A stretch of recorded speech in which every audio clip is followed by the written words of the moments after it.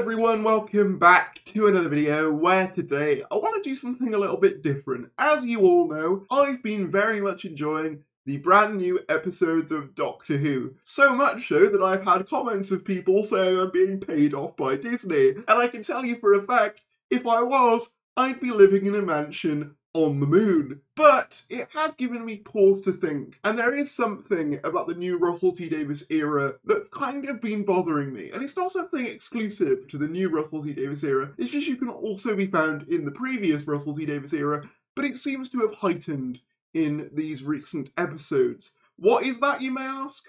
Well, it's his tendency to create very convenient endings to stories. But before we talk about it, do me a little favour, subscribe if you're new, That'd be very much appreciated. We are trying to get to 24,000 subscribers for 2024. Any support would be greatly appreciated on that front, getting to that goal. Thank you for all the support, and let's get right into it. As you all know, I'm a big fan of RTD's version of Doctor Who.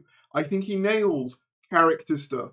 I think often he creates stories with such interesting, unique concepts with some of the best actors in the land. However, I never said he was a perfect writer. Nobody truly is. And a pattern I've noticed with Russell, particularly with Doctor Who, but it's not exclusive to Doctor Who, is that he very much makes endings that feel quite rushed. The first time this properly stuck out to me recently was with The Star Beast. So for those of you who don't remember, the Meta Crisis was this story arc from 15 years ago where basically Donna absorbed the mind and the consciousness of the Doctor but in doing so, it burnt up her human brain, and the Doctor basically had to wipe all traces of the Doctor and their adventures in order to save her life. Fast forward to the Star Beast with the reintroduction of the Doctor and Donna, and naturally this had to be addressed. Now, I don't actually mind the way they explain it with the Meta Crisis passing down genetically. I actually think that makes perfect sense. My issue more comes in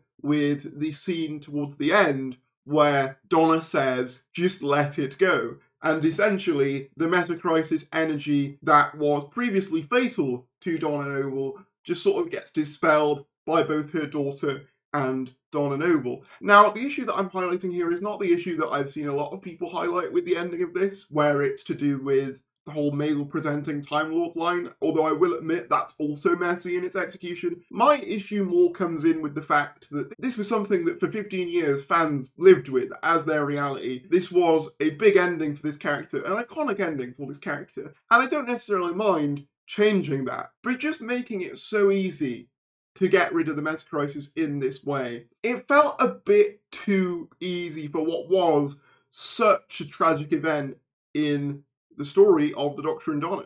There's also the aspect of Beep the Meep ship and the damage done to London. So for those of you who don't know, in the end of the Star Beast, the Beep's plan is to power his ship using a double-bladed dagger drive. I hope I'm saying that right. And in doing so, it basically plunges into the core of the Earth and all of London starts being on fire and cracks in the road start appearing. And then in the climax, the Dr. Donna memory gets restored and they basically use technobabble to completely reverse all the effects. Now, I'll admit that the follow-up scene to this is very emotional, with the Doctor holding Donna in his arms as he thinks she's about to die. However, I don't love that the cracks just immediately get reversed. It feels a bit too neat of a resolution. Something I liked in the original Russell era was when an alien invasion happened, oftentimes you'd see the fallout from it in later episodes. For example, there's like multiple scenes where you can see Big Ben being reconstructed following a alien ship crashing into it in series one. Things like that not only helped with world building, but also it made you feel that there were consequences to what was going on in the wider Doctor Who world. When things just get reversed completely, it kind of lessens that for me. And this isn't the only example of that. Another example is with the Toymaker in The Giggle, where he turned everyone in the human race absolutely insane, and then the solution is to just completely erase the Toymaker from history as they play a game of catch, and then all of the damage that the giggle did is just completely reversed. Now, I guess I can buy that explanation more on the basis that if he never existed, then the calamity would have never happened, but it still feels like a missed opportunity to not show the aftermath of an Earth that was just dealing with what was a pretty apocalyptic event. I would say the story in the 60th episode that feels the least prone to this, in my opinion, is Wild Blue Yonder, because every aspect of the ending is set up pretty well from the slow walking robot to the countdown that's going on throughout the episode. However, even then, you can make the argument that the TARDIS appearing when it does is a little convenient. However, I'm willing to write that off on the basis that in the beginning of the episode, they establish that the TARDIS leaves somewhere when it sees hostile action and returns when the hostile action is done.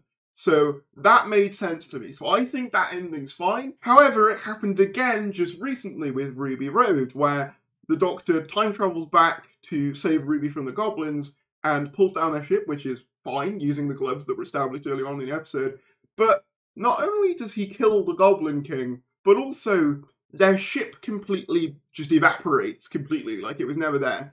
Now, you could make the argument again that it's to do with time travel and the fact that the goblins were never supposed to be there, so they're getting erased Marty McFly style. But again, it does just feel like a bit of an easy way to just completely wipe any consequences from this event, even in the minorest of senses. I mean, it wouldn't have made much of a difference if you'd have had just let the vicar come out and be like, how are we going to repair that? Oh my god, what's happened? Or what the hell? Something like that. It wouldn't have been that different. And I guess my issue is, is that sometimes with the endings of Russell stories, they all feel a bit too convenient and not always fully satisfying. And this isn't, again, something that's just exclusive to Russell T Davies too.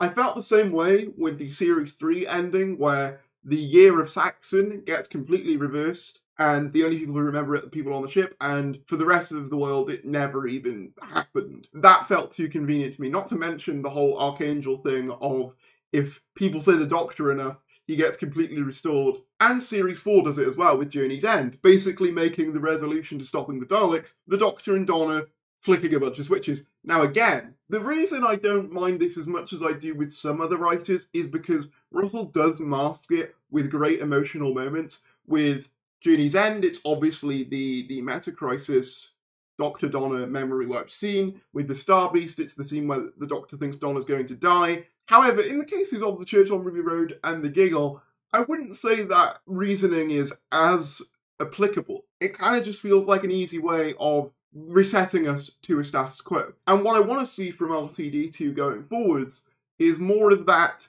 impact from the events of these endings. Not every ending has to be this neat and tidy thing where the world goes on pretending nothing ever happened.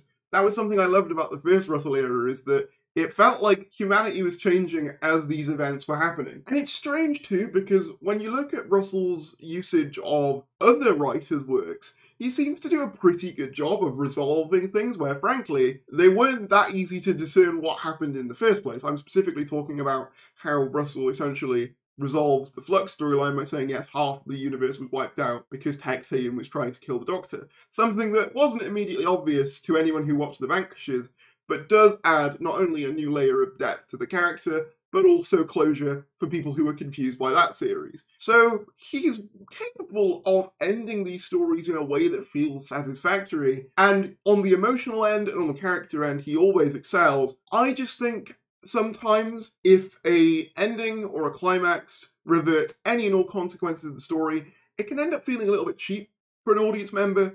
Maybe I'm alone in this, but it's a pattern I've noticed, and it's a pattern that I hope Series 1 or Series 14, whatever you want to call it, breaks. I want to stress, I love this new era, but that doesn't mean I think it's immune from criticism. I do have my issues with it, but I am really enjoying it. But let me know down in the comments below what you think. I'd be very interested to hear your thoughts on this. If you did enjoy the video, please give it a like, comment down below your thoughts, subscribe if you're new, and I'll see you later.